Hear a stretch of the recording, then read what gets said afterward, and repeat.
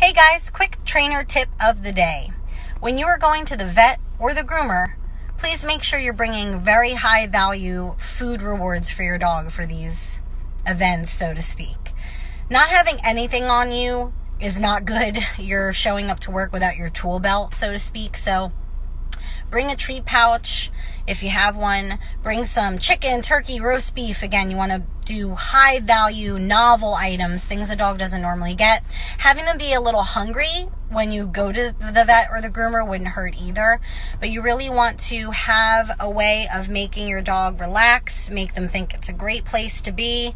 And I would show up a little bit earlier to the vet or the grooming office so you have some time to walk your dog around the perimeter of the building, let them sniff around, get out some mental stimulation, and uh, that way you have a way of calming them down a little bit. So high value food, bring it to the vet and the groomer, help calm your dog down.